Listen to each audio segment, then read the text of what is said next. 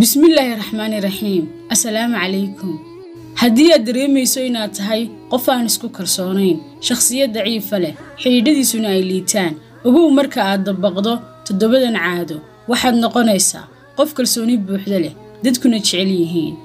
Waayaan jaamaca nuuxayaan dhalad daawo muuqaalkan ilaa dhammaadka caadada koowaad isku filaanshaha nafeed.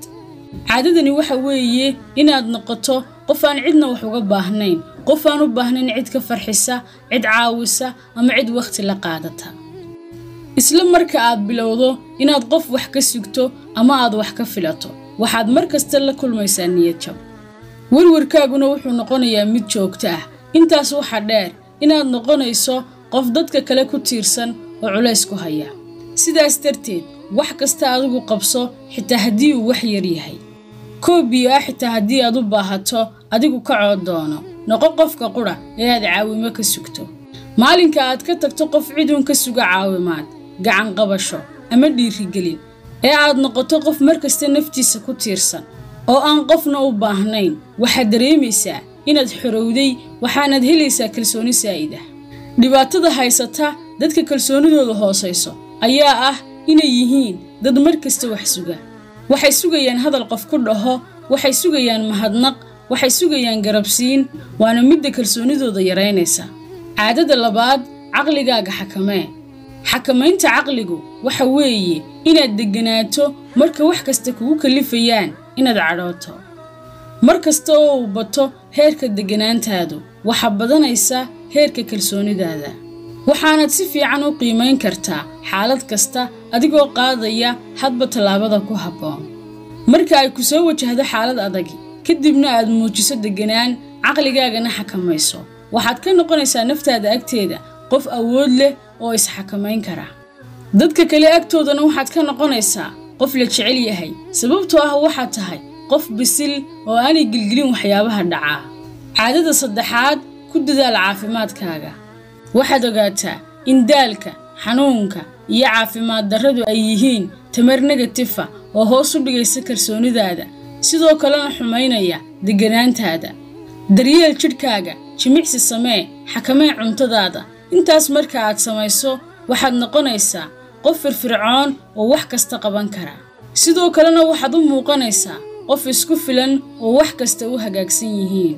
Caadada afraad si wacan u labiso dhibaatada jirtaa waxay tahay in dadka badankoodu isqurxiyaan naftoodana ka shaqeeyaan keliya markay tegayaan munaasabad gaar ah ama ay la kulmayaan qof ay isku cusub yihiin. Taasina waa arrin qaldan waayo marka aad dhar fiican xidhan tahay si wacanna isu diyaariso waxaad gudaha ka dareemaysaa kalsooni badan. Halka marka aad sidato dhar aanad ku qanacsanayn xarrigadaaduna liidato aad dareemayso isku qanacsanaan hoosaysa. Sidaas darteed mar kasta ku dadaal labiskaaga caadada shanaad daacad u noqo qorshayaashaada inaad ku toosnaato qorshahaagu waa midda xadidaysa inaad guulaysato iyo in kale. Waxayna ku dareensiinaysaa kalsooni iyo inaad naftaada ka adag tahay. Inaad hesho jidh caafimaad qaba waxa xadidaya sida aad ugu toosnaato jadwalka jimicsigaaga. Waa inaad maanta jimicsataa berri jimicsataa saa dambena sidoo kale. Waa inaanad hal maalin samayn wax gaara kadibna iska dayn haddii aad hal maalin wax barato kadibna iska dayso muddo bil ah weligaa wax baran maysid.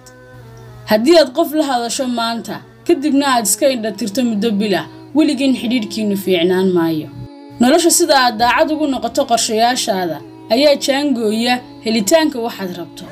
Waa inaad yeelataa aragti fogoo mustaqbalka ah laakiin haddii aad mar kasta raadiso natiijo degdeg ah wax kasta oo aad qabato waxaad uga niyad jabaysaa si degdeg ah. Caadada lixaad dooro hadafyadaada waa inaad garanaysaa waxaad rabto iyo waddada aad u mari doonto. Dejiso qorshe dhaqaale sidaad ku heli doonto. Waxaad rabto iyo waxaad samaynaysaana ha kuu caddaadaan. Dejiso qorshe waxbarasho xadid waxaad baranayso iyo sida aad u baranayso. Deji qorshe guur diyaarso sifooyinka aad ku xulan lahayd qofka aad rabto.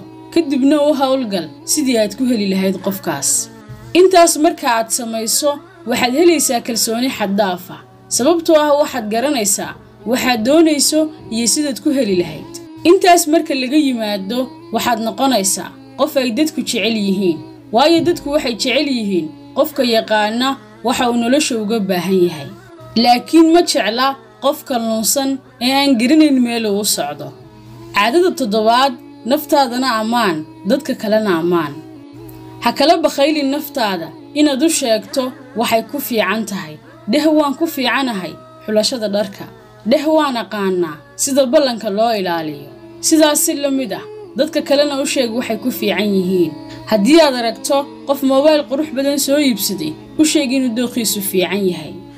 Haddii aad aragto qof wax wanaagsan samaynaya u sheeg inuu leeyahay shakhsiyad fiican. Marka aad naftaada ugu deeqdo ammaanta dadka kalena aanad ka xaasidin. Waxaa kor kacaysa kalsoonidaada mawduuceennu caawa intanuu ku egyahay nala wadaag caadada aad is leedahay way kaa maqan tahay.